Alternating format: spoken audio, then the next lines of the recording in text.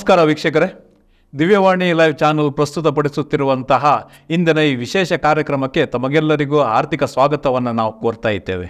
ಇಂದು ನಮ್ಮ ಜೀವನ ಶೈಲಿಯನ್ನು ನಾವು ನೋಡಿದರೆ ಖಂಡಿತವಾಗಿಯೂ ನಮ್ಮ ಜೀವನ ಶೈಲಿ ಉತ್ತಮ ಮಟ್ಟದಲ್ಲಿ ಉತ್ತುಂಗಕ್ಕೆ ಏರುತ್ತಾ ಇದೆ ಅಂತ ಹೇಳೋದ್ರಲ್ಲಿ ಯಾವುದೇ ರೀತಿಯ ಎರಡು ಮಾತಿಲ್ಲ. ಆದರೆ ಯಾವ ರೀತಿಯಲ್ಲಿ ನಮ್ಮ ಜೀವನ ಶೈಲಿ ಉತ್ತುಂಗಕ್ಕೆ ಏರ್ತಾ ಇದೆಯೋ ಜೀವನ ಶೈಲಿಯಲ್ಲಿ ಹೆಚ್ಚಳ ಆಗ್ತಾ ಇದೆಯೋ, ಅದೇ ರೀತಿಯಲ್ಲಿ ಆರೋಗ್ಯದಲ್ಲಿ ಕೂಡ ಏರುಪೇರಾಗ್ತಾ ಇರುವಂಥದ್ದು ಕೂಡ ಸರ್ವೇ ಸಾಮಾನ್ಯವಾಗಿರುವಂಥ ಸತ್ಯ. ಈ ಸಂದರ್ಭದಲ್ಲಿ ನಮಗೆ ಈ ಸಂದರ್ಭದಲ್ಲಿ ನಮ್ಮ ಈ ಒಂದು ಶಾರೀರಿಕವಾಗಿ ಉಂಟಾಗುವಂಥ ಕೆಲವೊಂದು ವಿಶೇಷ ರೀತಿಯ ಸಮಸ್ಯೆಗಳನ್ನು ನಾವು ಗಮನವಹಿಸುವಂಥ ಸಂದರ್ಭದಲ್ಲಿ ಸಾಮಾನ್ಯವಾಗಿ ಬಿ ಪಿ ಶುಗರ್ ಇಂಥ ಕಾಯಿಲೆಗಳು ಸ್ಕ್ಯಾನಿಂಗ್ ಮಾಡುವಂಥ ಸಂದರ್ಭದಲ್ಲಿ ಇನ್ನೂ ಕೆಲವು ಎಡಿಷನಲ್ ಆಗಿರುವಂಥ ಕಾಯಿಲೆಗಳು ಕಂಡು ಬರ್ತವೆ. ಆಧುನಿಕ ಆರೋಗ್ಯ ಸಮಸ್ಯೆಗಳಲ್ಲಿ ಪ್ರಮುಖವಾಗಿರುವಂಥ ಸ್ಥಾನವನ್ನು ಪಡ್ಕೊಳ್ತಾ ಇದೆ ಲಿವರಿಗೆ ಸಂಬಂಧಪಟ್ಟಂತಹ ಸಮಸ್ಯೆಗಳು. ಹಾಗೂ ಇವತ್ತು ಈ ಲಿವರಿಗೆ ಸಂಬಂಧಪಟ್ಟಂತಹ ಒಂದು ಸಮಸ್ಯೆಗಳ ಬಗ್ಗೆ ಒಂದು ವಿಶ್ಲೇಷಣೆಯನ್ನು ಮಾಡಲಿಕ್ಕೆ ಇಂದಿನ ಈ ಆರೋಗ್ಯ ದರ್ಶಿನಿಯಲ್ಲಿ ನಮ್ಮ ಜೊತೆಯಲ್ಲಿ ಇದ್ದಾರೆ. ನಮ್ಮ ನಿಮ್ಮೆಲ್ಲರ ಚಿರಪರಿಚಿತರಾಗಿರುವಂತಹ ವಂದನೆಯ sister doctor Mabel Clara D'Mello ಅವರು ಇಂದಿನ ಈ ಕಾರ್ಯಕ್ರಮದ ಸಂಪನ್ಮೂಲ ವ್ಯಕ್ತಿಗಳಾಗಿ ನಮ್ಮ ಜೊತೆಯಲ್ಲಿದ್ದಾರೆ. ನಮ್ಮೆಲ್ಲರ ಪರವಾಗಿ ಡಾಕ್ಟರ್ ಮೇಬಲ್ ಕ್ಲಾರಾ ಡಿಮೆಲ್ಲೋ ಅವರನ್ನು ನಾವು ಸ್ವಾಗತಿಸುವ. ಸಿಸ್ಟರ್, ಈಗಾಗಲೇ ನಾನು ಪ್ರಸ್ತಾವನೆಯನ್ನು ನೀಡಿದ್ದೇನೆ. ಹಾಗೂ ನಮ್ಮ ಆರೋಗ್ಯ ಸಂಚಿಕೆಯಲ್ಲೂ ಕೂಡ ತಾವು ಇದುವರೆಗೆ ಅಮೂಲ್ಯವಾಗಿರುವಂತಹ ಮಾಹಿತಿಗಳನ್ನು ನೀಡಿದ್ದೀರಿ. ಇದರಿಂದ ನಮ್ಮ ವೀಕ್ಷಕರಿಗೆ ತುಂಬ ಒಂದು ಅನುಕೂಲವಾಗಿದೆ. ಇಂದಿನ ಈ ಕಾರ್ಯಕ್ರಮ ಸಾಮಾನ್ಯವಾಗಿ ಈಗಾಗಲೇ ನಾನು ಒಂದು ಸಣ್ಣ ಪೀಠಿಕೆಯನ್ನು ಕೊಟ್ಟಿದ್ದೇನೆ. ಅದಾಗಿರ್ತದೆ ಫ್ಯಾಟಿ ಲಿವರ್, ಯಕೃತ್ತಿಗೆ ಸಂಬಂಧಪಟ್ಟ ಸಮಸ್ಯೆಗಳು. ಮೊದಲನೇದಾಗಿ ನಮ್ಮ ವೀಕ್ಷಕರು ಕಾತರದಿಂದ ಇದ್ದಾರೆ. ಫ್ಯಾಟಿ ಲಿವರ್ ಎಂದರೆ ಏನು? ಹೌದು. ಫ್ಯಾಟಿ ಲಿವರ್ ಬಗ್ಗೆ ಹೇಳುವ ಮೊದಲು ಲಿವರ್ ಇದರ ಬಗ್ಗೆ ಒಂದು ಸ್ವಲ್ಪ ಮಾಹಿತಿಯನ್ನು ಹೇಳ್ತೇನೆ. ಲಿವರ್ ನಮ್ಮ ದೇಹದಲ್ಲಿ ಒಂದು ಎರಡನೇ ಅತಿ ದೊಡ್ಡ ಅಂಗ. ಮೊದಲನೇದು ಚರ್ಮ, ಎರಡನೇದು ಲಿವರ್ ಇದು ರೈಟ್ ಹೈಪೋಕಾಂಡ್ರಿಯಾಕ್ ಅಂದರೆ ಈ ಬಲಭಾಗದಲ್ಲಿ ಹೊಟ್ಟೆಯ ಮೇಲ್ಭಾಗದಲ್ಲಿ ಶ್ವಾಸಕೋಶದ ಕೆಳಭಾಗದಲ್ಲಿ ಇದೆ ಇದಕ್ಕೆ ಎರಡು ಲೋಬ್ಸ್ ಇದೆ ರೈಟ್ ಮತ್ತು ಲೆಫ್ಟ್ ಬಲ, ಎಡ ಲೋಬ್ಸ್ ಇವೆ. ಈಗ ಈ ಲಿವರ್ ಅಥವಾ ಎಕ್ರತ್ತು ಅಂತ ಹೇಳ್ತೇವೆ, ಹಲವಾರು ಕ್ರಿಯೆಗಳನ್ನು ನಡೆಸ್ತದೆ. ಈಗ ಒಂದು ಉದಾಹರಣೆ ಹೇಳುವುದಾದರೆ, ಈ ಎಕ್ರತ್ತಿನಲ್ಲಿ ಪಿತ್ತರಸ ಉತ್ಪಾದನೆ ಆಗ್ತದೆ. ಇದರ ಮುಖಾಂತರ ಜೀರ್ಣಕ್ರಿಯೆಗೆ ಸಹಾಯಕವಾಗ್ತದೆ. ಅದೇ ಅಲ್ಲ, ನಾವು ದಿನನಿತ್ಯ ಎಷ್ಟೋ ವಿಷಕಾರಿ ವಸ್ತುಗಳನ್ನು ಸೇವಿಸ್ತೇವೆ. ಯಾವುದು? ಆಹಾರ ಪದಾರ್ಥದ ಮುಖಾಂತರ. ಅಥವಾ ನಾವು ಹೊರಗಡೆ ಸಂಚಾರ ಮಾಡುವಾಗ ನಾವು ಏನು ಒಳ- ಒಳಗಡೆ ಈ ರಾಸಾಯನಿಕ ಅಥವಾ ಈ ಕೆಮಿಕಲ್ಸ್ಗಳನ್ನು ತಗೊಳ್ತಾ ಇದ್ದೇವೆಯಾ? ಇದೆಲ್ಲ ಲಿವರ್ ಸ್ವಚ್ಛಗೊಳಿಸ್ತದೆ. ಅದೇ ಅಲ್ಲ ಹೆಚ್ಚಿನ ಪ್ರಮಾಣದಲ್ಲಿ ಗ್ಲೂಕೋಸ್ ಉತ್ಪಾದನೆ ಆದರೆ ಅದು ಲಿವರಲ್ಲಿ ಗ್ಲೈಕೋಜನ್ ಆಗಿ ಸ್ಟೋರ್ ಆಗಿರ್ತದೆ. ಮತ್ತು ನಮಗೆ ಯಾವಾಗ ಅದು ಬೇಕಾಗ್ತದೆ, ಅದೇ ಗ್ಲೈಕೋಜನ್ ಗ್ಲೂಕೋಸ್ ಆಗಿ ಪುನಃ ಉಪಕಾರ ಬೀಳ್ತದೆ. ಹೀಗೆ ಈ ಲಿವರ್ ಒಂದು ತುಂಬ ಕಾರ್ಯಗಳು ನಡೆಸ್ತವೆ. ಅದರಿಂದ ಬಹು ಪ್ರಾಮುಖ್ಯ ಈ ಲಿವರ್. ಆದ್ದರಿಂದ ಈ ಹೇಗೆ ನಮ್ಮ ಈ ಇಡೀ ದೇಹದಲ್ಲಿ ಈ ಅಂಗಾಂಗಗಳಲ್ಲಿ ಜೀವಕೋಶಗಳಿರ್ತವೆಯಾ ಅದೇ ರೀತಿಯಲ್ಲಿ ಲಿವರ್ಸಲ್ಲಿ, ಲಿವರ್ನಲ್ಲಿ ಅಥವಾ ಯಕೃತ್ನಲ್ಲಿ ಸಹ ಜೀವಕೋಶಗಳಿವೆ. ಈಗ ಈ ಲಿವರಲ್ಲಿ ಒಂದು ಸ್ವಲ್ಪ ಪ್ರಮಾಣದಲ್ಲಿ ಕೊಬ್ಬಿನಾಂಶ ಇರ್ತದೆ.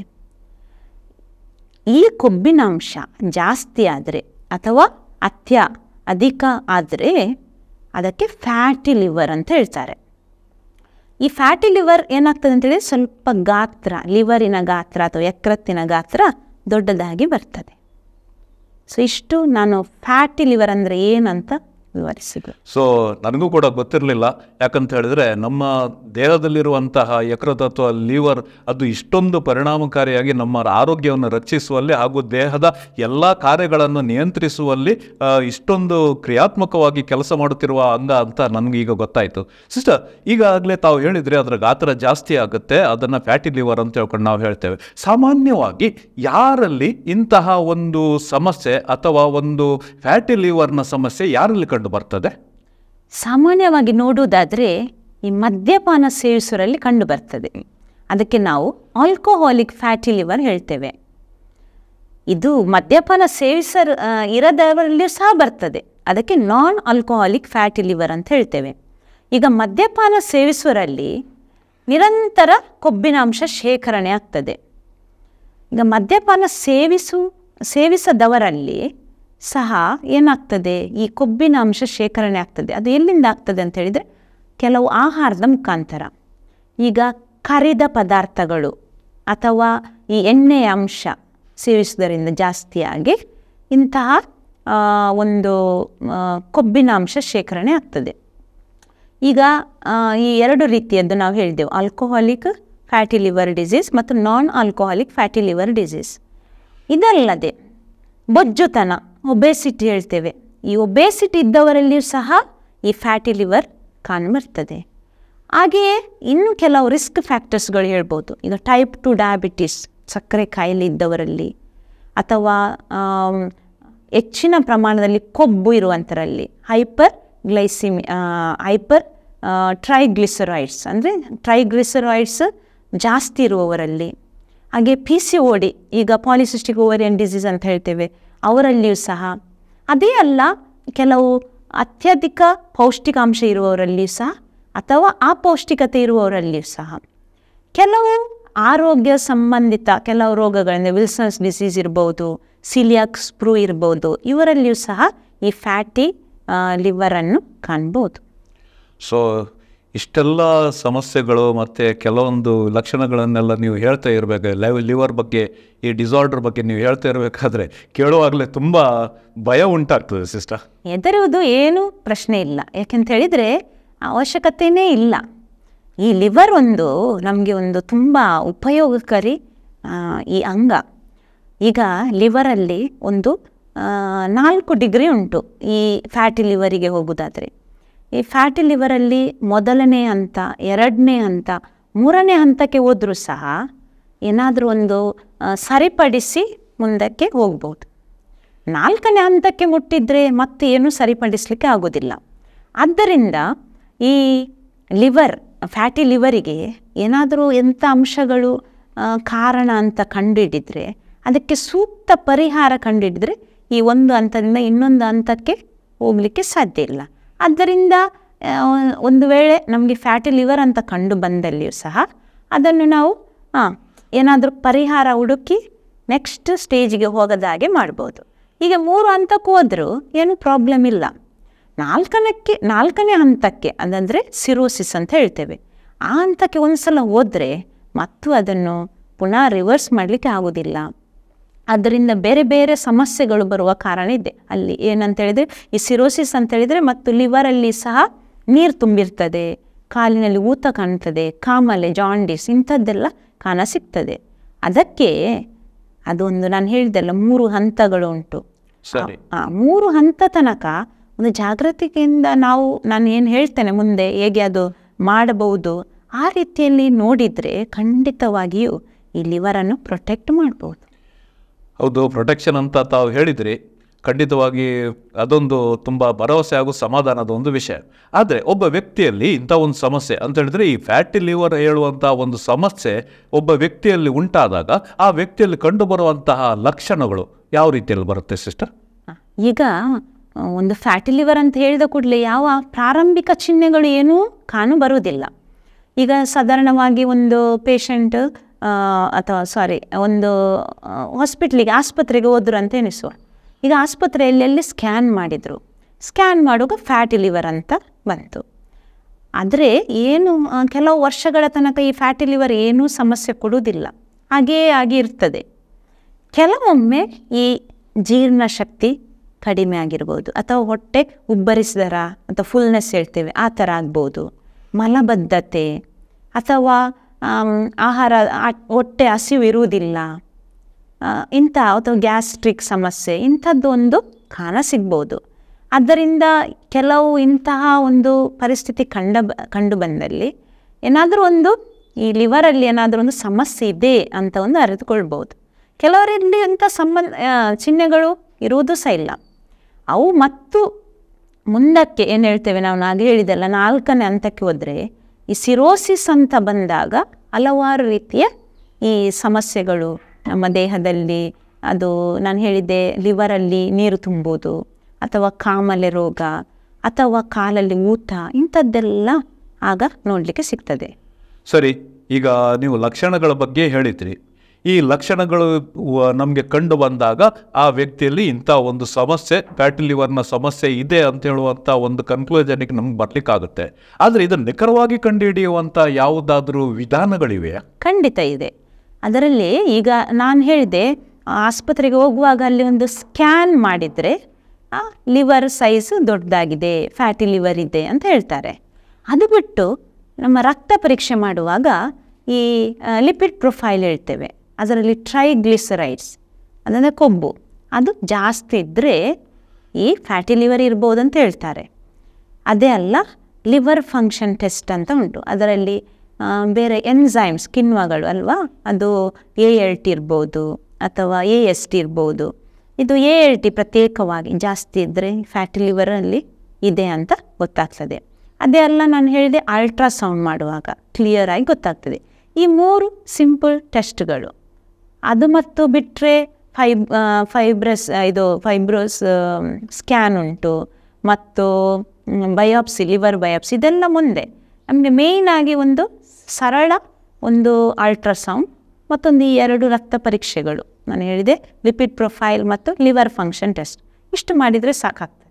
ಸೊ ಈಗಾಗಲೇ ತಾವು ಲಕ್ಷಣಗಳ ಬಗ್ಗೆ ಕೂಡ ವಿವರಿಸಿದ್ರಿ. ಹಾಗೂ ಅದನ್ನು ಪತ್ತೆ ಹಚ್ಚುವ ವಿಧಾನಗಳ ಬಗ್ಗೆ ಕೂಡ ತಾವು ಹೇಳಿದ್ರಿ. ಈಗ ಈ ಎರಡೂ ವಿಧಾನಗಳ ಪ್ರಕ್ರಿಯೆಗಳ ಮೂಲಕ ಒಬ್ಬ ವ್ಯಕ್ತಿಯಲ್ಲಿ ಖಂಡಿತವಾಗಿ ಫ್ಯಾಟಿ ಲಿವರ್ ಇದೆ ಅಂತ ಕನ್ವಿನ್ಸ್ ಮಾಡಲಿಕ್ಕಾಗುತ್ತೆ. ಆದರೆ ಈ ಫ್ಯಾಟಿ ಲಿವರ್ ಸಮಸ್ಯೆಯನ್ನು ಯಾವುದೇ ಪ್ರಮಾಣದಲ್ಲಿ ಅದನ್ನು ತಡೆಗಟ್ಟಲಿಕ್ಕೆ ಸಾಧ್ಯ ಉಂಟಾ? ಅಥವಾ ಫ್ಯಾಟಿ ಲಿವರ್ ಉಂಟಾದರೆ ಅದಕ್ಕೆ ಪ್ರಕ್ರಿಯೆ ಪ್ರತ್ಯೇಕವಾಗಿರುವಂಥ ವಿಶೇಷ ಚಿಕಿತ್ಸೆ ಏನಾದರೂ ಇದೆಯಾ? ಈಗ ನಾನು ಹೇಳಿದೆ ಈ ಲಿವರ್ ಈ ಮೂರು ಹಂತದ ತನಕ ಏನಾದರೂ ಇಂಥ ಈ ಫ್ಯಾಟಿ ಲಿವರ್ ಕಂಡು ಬಂದರೆ ಅದಕ್ಕೆ ಹಲವಾರು ರೀತಿಯ ಪರಿಹಾರಗಳಿವೆ. ಈಗ ನಾನು ಹೇಳೋದಾದರೆ ಈ ಫ್ಯಾಟಿ ಲಿವರ್ ಬರಲಿಕ್ಕೆ ನಾನು ಆಗಲೇ ಹೇಳಿದೆ ಕೆಲವು ಕಾರಣಗಳು. ಈಗ ಈ ಕಾರಣ ಫಸ್ಟ್ ನಾವು ಫೈಂಡ್ ಔಟ್ ಮಾಡಬೇಕು. ಈ ಫ್ಯಾಟಿ ಲಿವರ್ ಬರುವಾಗ ಒಂದು ವೇಳೆ ಈ ಮದ್ಯಪಾನ ಕಾರಣವಾದರೆ ನಾವೇನು ಮಾಡಬೇಕು? ಮದ್ಯಪಾನವನ್ನು ಸ್ಟಾಪ್ ಮಾಡಬೇಕು. ಈಗ ಮದ್ಯಪಾನ ಮಾಡುವುದರಿಂದ ಎಂಬತ್ತರಿಂದ ನೂರು ಪರ್ಸೆಂಟ್ ಫ್ಯಾಟಿ ಲಿವರ್ ಬರಲು ಚಾ ಚಾನ್ಸಸ್ ಉಂಟು. ಅದರಲ್ಲಿ ಇಪ್ಪತ್ತು ಪರ್ಸೆಂಟ್ ಒಂದು ಹತ್ತರಿಂದ ಇಪ್ಪತ್ತು ಪರ್ಸೆಂಟ್ ಶುವರ್ ಆಗಿ ಸಿರೋಸಿಗೆ ಹೋಗ್ತಾರೆ. ಅದರಿಂದ ಈ ಮದ್ಯಪಾನ ಒಂದು ಕಾರಣ ಅಂತ ನಮಗೆ ಕಂಡು ಬಂದಲ್ಲಿ, ಮದ್ಯಪಾನವನ್ನು ನಿಲ್ಲಿಸುವುದರಿಂದ ಇವುಗಳನ್ನು ಖಂಡಿತವಾಗಿ ಇನ್ನೊಂದು ಹಂತಕ್ಕೆ, ಅಂದರೆ ನಾಲ್ಕನೇ ಹಂತಕ್ಕೆ ಹೋಗುವುದನ್ನು ನಾವು ತಡೆಗಟ್ಟಬಹುದು.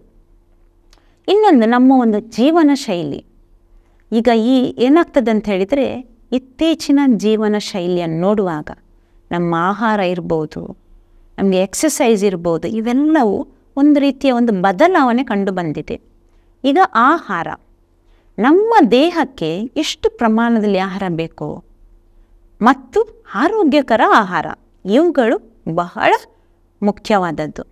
ಈಗ ನಾನು ಹೇಳಿದೆ ಪ್ರಮಾಣ, ಅದು ನಮ್ಮ ಪ್ರತಿಯೊಬ್ಬರ ದೇಹಕ್ಕೆ ಎಷ್ಟು ಪ್ರಮಾಣದಲ್ಲಿ ಆಹಾರ ಬೇಕೋ ಅಷ್ಟನ್ನೇ ಚೂಸ್ ಮಾಡೋದು. ಅಥವಾ ಏನು ಮಾಡ್ತಾರೆ? ಅದಕ್ಕೆ ನಮಗೆ ಬೇಕಾದಷ್ಟು ಆಹಾರ, ಅಗತ್ಯವಿದ್ದಷ್ಟು. ಮತ್ತೊಂದು ಆರೋಗ್ಯಕರ ಅಂತ ಹೇಳಿದೆ. ಈಗ ಆರೋಗ್ಯಕರವಲ್ಲದ ಆಹಾರ ಯಾವುದು? ನಾನು ಹೇಳುತ್ತೆ ಮೊದಲು. ಈಗ ನಾವು ಒಂದು ಉದಾಹರಣೆ ಕೊಡೋದಾದರೆ ಈಗ ಈ ಮೊಟ್ಟೆಯ ಹಳದಿ ಭಾಗ, ಇದರಲ್ಲಿ ಜಾಸ್ತಿಯಾಗಿ ಕೊಬ್ಬಿದೆ. ಅದರಿಂದ ಅದನ್ನು ತಿನ್ನದೇ ಇರುವುದು. ಮತ್ತು ಕರಿದ ಎಣ್ಣೆ, ಈ ಎಣ್ಣೆ ಉಂಟಲ್ಲ ಆಹಾರ ನಮ್ಮ ಸ- ಸಸ್ಯಾಹಾರ ಇರ್ಬೋದು ಅಥವಾ ಮಾಂಸಾಹಾರ ಇರ್ಬೋದು. ಕರಿದ ಪದಾರ್ಥ ಕರಿದ ಪದಾರ್ಥಗಳು. ಮತ್ತಿನ್ನೊಂದು ನಾವು ರೋಡ್ ಸೈಡ್ ನೋಡ್ತೇವೆ ಅಲ್ವಾ? ಸ್ಟ್ರೀಟ್ ಫುಡ್ ಸ್ಟ್ರೀಟ್ ಅದರಲ್ಲಿ ಏನು ಮಾಡ್ತಾರೆ? ಒಂದು ಸಲ ಕಾಯಿಸ್ತಾರೆ ಅಲ್ವಾ? ಅದೇ ಎಣ್ಣೆ ಬಳಸಿದ ಎಣ್ಣೆ ಮರುಬಳಕೆ ಮಾಡ್ತಾರೆ. ಇನ್ನೊಂದು ಬೇರೆ ವಸ್ತುಗಳನ್ನು ಕಾಯಿಸ್ಲಿಕ್ಕೆ ಮಾಡ್ತಾರೆ. ಇದು ಬಹಳ ಆ, ಹಾನಿಕಾರ. ಆದ್ದರಿಂದ ಇಂತಹ ಎಣ್ಣೆಗಳು ಉಪಯೋಗಿಸಿರಬಹುದು ಮತ್ತು ಕೆಲವು ಜಿಡ್ಡಿನ ಪದಾರ್ಥಗಳು. ಅದೇ ಡೈರಿ ಪದಾರ್ಥಗಳಿರ್ಬೋದು. ಈ ಚೀಸ್ ಬಟರ್ ಇವೆಲ್ಲವೂ ಸಹ ಈ ಒಂದು ಫ್ಯಾಟಿ ಲಿವರಿಗೆ ಕಾರಣ ಆಗ್ತದೆ ಅದೇ ಅಲ್ಲ ಸಿಹಿ ಪದಾರ್ಥಗಳು ಅದು ಬೌಳಿಷ್ಟ ಇಷ್ಟ ಅಲ್ವಾ? ಸಿಹಿ ಅಂತ ಹೇಳಿದ್ರೆ ಇಷ್ಟ. ಖಂಡಿತ. ಪ್ರತಿಯೊಂದಕ್ಕೂ ಸಕ್ಕರೆ ಹಾಕಿದೆ ಸೇವಿಸ್ತಾರೆ. ಎಲ್ಲ ಪ್ರಮಾಣದ ಸಕ್ಕರೆ ಆಗಿರ್ಬೋದು ಸಕ್ಕರೆ ಪಾನೀಯಗಳು ಈ ತಂಪು ಪಾನೀಯಗಳು ಈಗ ಸಿಗ್ತವೆ ನಮಗೆ. Pepsi Sprite Coca Cola soft drinks soft drinks ಇವೆಲ್ಲ ಈ ಸಾಫ್ಟ್ ಡ್ರಿಂಕ್ಸ್ಗಳು ಇದು ನಮ್ಮ ಲಿವರಿಗೆ ಖಂಡಿತವಾಗಿ ಹಾನಿ ಮಾಡ್ತದೆ. ಅದೇ ಅಲ್ಲ ಉಪ್ಪಿನ ಅಂಶಗಳು ಅದೆಲ್ಲ ಬೇಕರಿ ಐಟಮ್ಸ್ಗಳು ಅಲ್ವಾ? ಅದೇ ಅಲ್ಲ ಈ ಪ್ರಾಸೆಸ್ಡ್ ಫುಡ್ ಅಂತ ಹೇಳ್ತಾರೆ. ಈಗ ನಮ್ಮ ನಮಗೆ ಟೈಮ್ ಇಲ್ಲ ಆಹಾರ ಮಾಡಲಿಕ್ಕಿಲ್ಲ ಆದ್ದರಿಂದ ಎಲ್ಲ ಪ್ರೊಸೆಸ್ಡ್ ಫುಡ್ ಸಿಗ್ತದೆ ರೆಡಿ ಆದರೆ ಆ ಪ್ರೊಸೆಸ್ ಫುಡ್ ಏನು ಮಾಡ್ತಾರೆ? ಶೇಖರಣೆ ಮಾಡಲಿಕ್ಕೆ ಕೆಮಿಕಲ್ಸ್ಗಳನ್ನು ಯೂಸ್ ಮಾಡ್ತಾರೆ. ಪ್ರಿಸರ್ವೇಟಿವ್ ಹೇಳ್ತೇವಲ್ಲ, ಅದನ್ನು ಉಪಯೋಗಿಸ್ತಾರೆ. ಅದೇ ಪುನಃ ಲಿವರಿಗೆ ಈ ಫ್ಯಾಟಿ ಲಿವರ್ ಬರಲು ಕಾರಣ.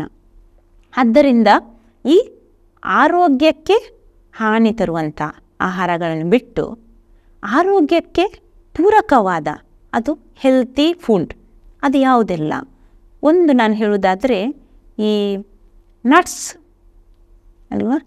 ನಟ್ಸ್ ಮತ್ತು ಗ್ರೈನ್ಸ್ ಮತ್ತು ಫ್ರೂಟ್ಸ್ ಇವು ನಿಜವಾಗಿ ಆರೋಗ್ಯಕರ.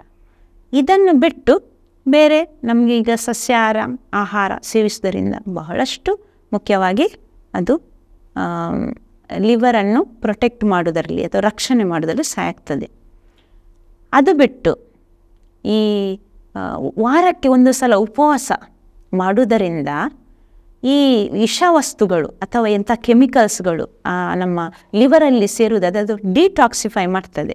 ಅದರಿಂದ ಅದನ್ನು ಸ್ವಚ್ಛಗೊಳಿಸಲಿಕ್ಕೆ ವಾರದಲ್ಲಿ ಒಂದು ಉಪವಾಸ ಮಾಡೋದು ಭಾಳಷ್ಟು ಒಳ್ಳೆಯದು. ಅದೇ ಅಲ್ಲ, ಈಗ ಬೊಜ್ಜು, ಈಗ ಒಬೆಸಿಟಿ ಹೇಳ್ತಾರೆ, ಅದು ಒಂದು ಎಷ್ಟೋ ಮಂದಿಯಲ್ಲಿ ಈಗ ಕಾಣಬರ್ತದೆ ಈಗ ಬೊಜ್ಜು ಇದ್ದವರಲ್ಲಿ ಸಹ ಈ ಎಂಬತ್ತು ಪರ್ಸೆಂಟ್ ಅಷ್ಟು ಫ್ಯಾಟಿ ಲಿವರ್ ಖಂಡಿತವಾಗಿ ಬರ್ತದೆ. ಆದ್ದರಿಂದ ಈ ಬೊಚ್ಚಿದ್ದವ್ರು ಏನು ಮಾಡಬೇಕು? ಈ ಒಬೆಸಿಟಿ ಇದ್ದವ್ರು ಏನು ಮಾಡಬೇಕು?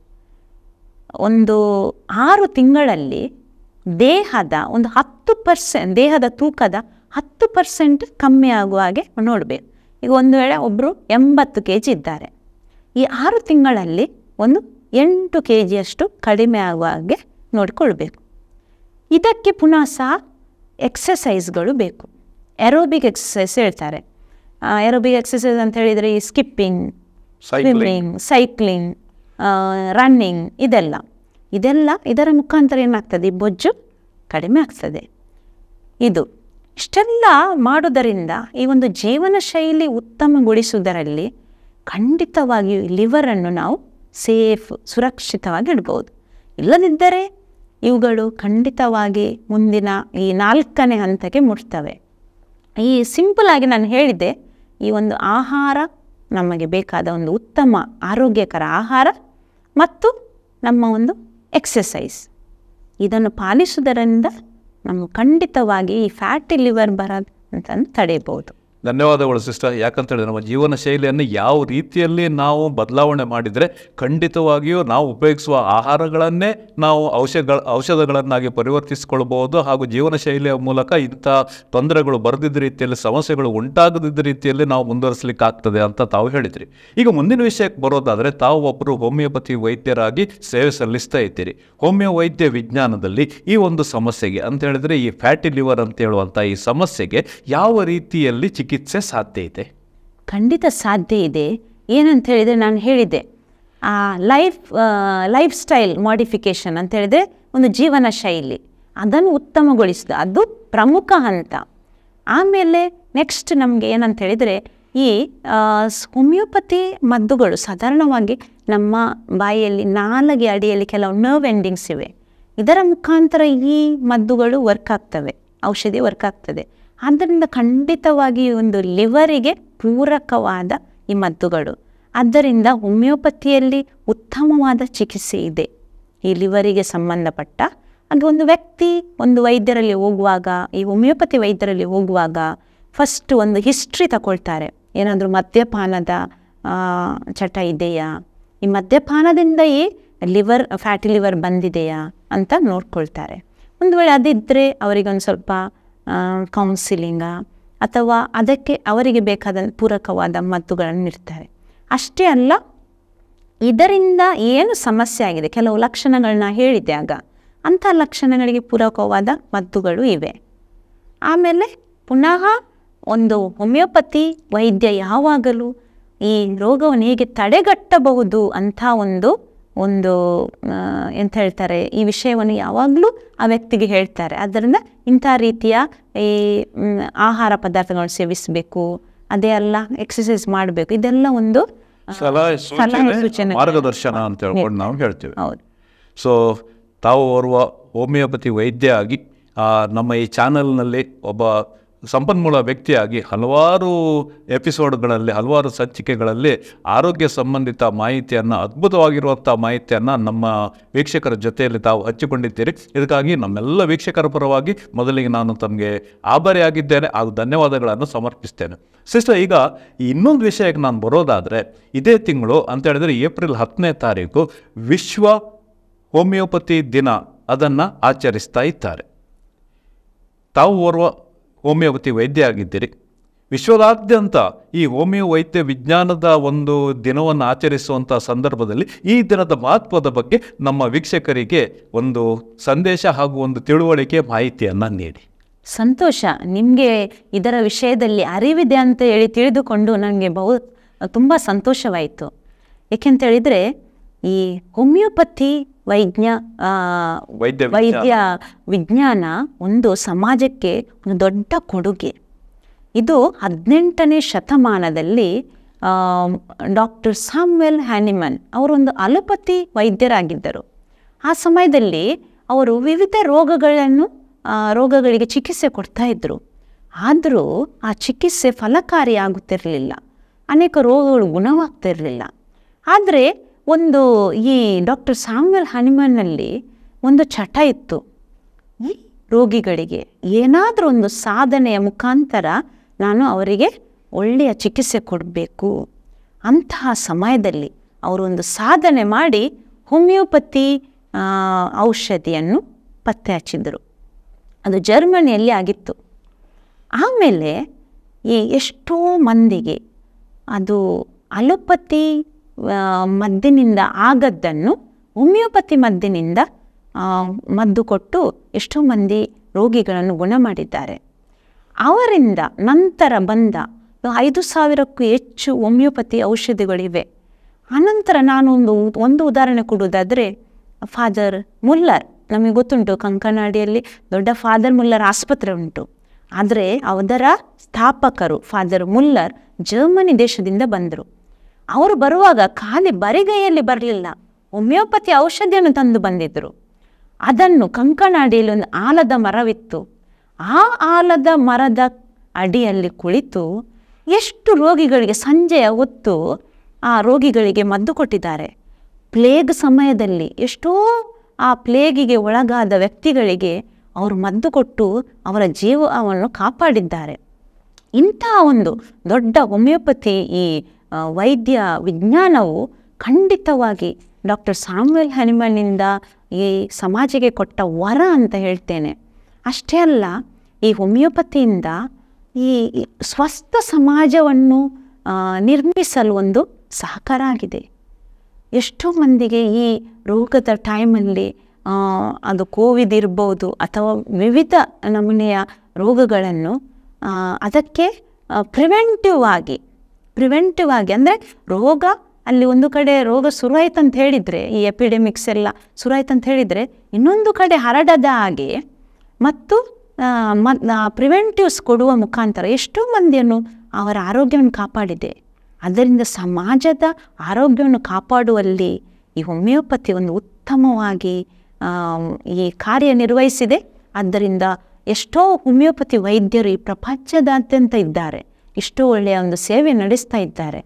ಆದ್ದರಿಂದ ನಮಗೆ ತುಂಬ ಸಂತೋಷ ಈ ಹೋಮಿಯೋಪತಿಯಿಂದ ಮುಖಾಂತರ ಪ್ರಪಂಚದ ಎಲ್ಲ ಜನರಿಗೆ ಈ ಒಂದು ಉತ್ತಮ ಸೇವೆ ಸಿಗ್ತದೆ ಅಂತ ಹೇಳಲಿಕ್ಕೆ ಬಹುಶಃ ಈ ಹೋಮಿಯೋಪತಿ ವೈದ್ಯ ವಿಜ್ಞಾನ ಎಲ್ಲಿ ಆರಂಭವಾಯಿತು, ಯಾವ ರೀತಿಯಲ್ಲಿ ಇದು ಬೆಳೆದು ಬಂತು, ಹಾಗೂ ಯಾವ ರೀತಿಯಲ್ಲಿ ಜನಮನದಲ್ಲಿ ಅದು ಒಂದಾಗಿದೆ, ಹಾಗೂ ಯಾವ ರೀತಿಯಲ್ಲಿ ಆರೋಗ್ಯ ಕಾಪಾಡಿಕೊಳ್ಳುವಲ್ಲಿ ಸೇಫ್ ಆಗಿ ಎಲ್ಲರಿಗೂ ಇದರಿಂದ ಉಪಯೋಗ ಆಗ್ತದೆ ಎನ್ನುವಂಥ ಒಂದು ಮಾಹಿತಿ ಹಾಗೂ ಒಂದು ಸಂದೇಶವನ್ನು ನಮ್ಮ ಈ ವೀಕ್ಷಕರೊಂದಿಗೆ ತಾವು ಹಂಚಿಕೊಂಡಿದ್ದೀರಿ. ಇದಕ್ಕಾಗಿ ನಿಮಗೆ ಥ್ಯಾಂಕ್ಸ್ ಹೇಳ್ತಾ ಇದ್ದೇವೆ. ಅಷ್ಟು ಮಾತ್ರವಲ್ಲ, ಈ ಹೋಮಿಯೋ ವೈದ್ಯ ವಿಜ್ಞಾನದಲ್ಲಿ ಸೇವೆ ಸಲ್ಲಿಸುತ್ತಿರುವಂತಹ ಎಲ್ಲ ವೈದ್ಯರಿಗೂ ಹಾಗೂ ಇತರ ಸಿಬ್ಬಂದಿಗಳಿಗೂ ನಾನು ಶುಭಾಶಯವನ್ನು ಧನ್ಯವಾದಗಳನ್ನು ಕೋರ್ತೇನೆ. ಅದೇ ರೀತಿಯಲ್ಲಿ ಅವರ ನಿರಂತರ ಸೇವೆಗೆ ದೇವರು ಅವರಿಗೆ ಧಾರಾಳ ಆಶೀರ್ವಾದವನ್ನು ಕೂಡ ನೀಡಲಿ ಹಾಗೂ ಜನರಲ್ಲಿ ಕೂಡ ಅವರಿಗೆ ಒಂದು ಉತ್ತಮವಾಗಿರುವಂಥ ಜನರ ಮನದಲ್ಲಿ ಒಂದು ಸ್ಥಾನ ನೀಡಲಿ ಅಂತ ಬೇಡ್ಕೊಳ್ತಾ ಇದ್ದೇನೆ. ಹಾಗೂ ಈ ಕಾರ್ಯಕ್ರಮದ ಕೊನೆ ಹಂತದಲ್ಲಿ ನಾವು ಬಂದಿದ್ದೇವೆ. ಇದುವರೆಗೆ ಫ್ಯಾಟಿ ಲಿವರ್ ಬಗ್ಗೆ ತಾವು ಉತ್ತಮವಾಗಿ ತಮಗೆ ತಿಳಿದಿರುವಂಥ ಎಲ್ಲ ಮಾಹಿತಿಯನ್ನು ಸ್ಪಷ್ಟವಾಗಿ ಮನಮುಟ್ಟುವಂತೆ ನಮ್ಮ ವೀಕ್ಷಕರೊಂದಿಗೆ ತಾವು ಹಂಚಿಕೊಂಡಿದ್ದೀರಿ. ಸೊ ಇದಕ್ಕಾಗಿ ನಮ್ಮೆಲ್ಲರ ವೀಕ್ಷಕರ ಪರವಾಗಿ ನಾವು ನಿಮಗೆ ಧನ್ಯವಾದಗಳನ್ನು ಸಮರ್ಪಿಸ್ತಾ ಇದ್ದೇವೆ. ಇದೇ ರೀತಿಯಲ್ಲಿ ನಮ್ಮ ಮುಂದಿನ ಆರೋಗ್ಯ ಸಂಚಿಕೆಗಳಲ್ಲಿ ಆರೋಗ್ಯ ದರ್ಶಿನಿ ಕಾರ್ಯಕ್ರಮದಲ್ಲಿ ನಮ್ಮ ಜೊತೆಯಲ್ಲಿ ತಾವು ಇಲ್ಲಿ ಉಪಸ್ಥಿತರಿದ್ದು ವಿವಿಧ ವಿಷಯಗಳ ಬಗ್ಗೆ ತಮ್ಮ ಜ್ಞಾನವನ್ನು ನಮ್ಮ ವೀಕ್ಷಕರೊಂದಿಗೆ ಹಂಚಿಕೊಳ್ಳಬೇಕಾಗಿ ಕೇಳಿಕೊಳ್ತಾ ಇದ್ದೀನಿ. ನಮ್ಮೆಲ್ಲ ವೀಕ್ಷಕರ ಪರವಾಗಿ ಮಗದೊಮ್ಮೆ ತಮಗೆ ಧನ್ಯವಾದಗಳು. Thank you sister thank you doctor. ಆತ್ಮೀಯ ವೀಕ್ಷಕರೇ ಇಂದಿನ ಈ ಸುಂದರವಾಗಿರುವಂಥ ಮಾಹಿತಿಪೂರ್ಣ ಕಾರ್ಯಕ್ರಮದಲ್ಲಿ ಎಂದಿನಂತೆ ನಮ್ಮ ಜೊತೆಯಲ್ಲಿ, ಇದುವರೆಗೆ ಅಮೂಲ್ಯ ಸಮಯವನ್ನು ನಮ್ಮ ಜೊತೆಯಲ್ಲಿ ಕಳೀಲಿಕ್ಕಾಗಿ ನಿಮಗೊಂದು ಮಾಹಿತಿಯನ್ನು ನೀಡುವ ಸಲುವಾಗಿ ನಮ್ಮೊಂದಿಗೆ ಇರುವಂತಹ ವಂದನೀಯ sister doctor Mabel Clara D'Mello ಅವರಿಗೆ ನಮ್ಮೆಲ್ಲರ ಪರವಾಗಿ ಈಗಾಗಲೇ ನಾನು ಧನ್ಯವಾದಗಳನ್ನು ಅರ್ಪಿಸಿದ್ದೇನೆ. ಫ್ಯಾಟಿ ಲಿವರ್, ಇದು ಇತ್ತೀಚಿನ ದಿನಗಳಲ್ಲಿ ಪ್ರತಿಯೊರ್ವರನ್ನು, ಅಂದರೆ ಹೆಚ್ಚಿನ ಜನರನ್ನು ಕಾಡುತ್ತಿರುವಂಥ ಒಂದು ಸಮಸ್ಯೆ. ಈ ಸಮಸ್ಯೆಯ ಬಗ್ಗೆ ಮನಮುಟ್ಟುವಂತೆ ಅವರು ತಮ್ಮ ಮಾಹಿತಿಯನ್ನು ನೀಡಿದ್ದಾರೆ. ಈ ಎಪಿಸೋಡ್ ತಮಗೆ ಇಷ್ಟವಾದಲ್ಲಿ ಖಂಡಿತವಾಗಿ ಜಾಗೃತಿ ಮೂಡಿಸುವ ನಿಟ್ಟಿನಲ್ಲಿ ಈ ಎಪಿಸೋಡನ್ನು ಇತರರೊಂದಿಗೆ ತಾವು ಹಂಚಿಕೊಳ್ಬೇಕಾಗಿ ನಾನು ಕಳಕಳಿಯಿಂದ ವಿನಂತಿಸ್ತಾ ಇದ್ದೇನೆ.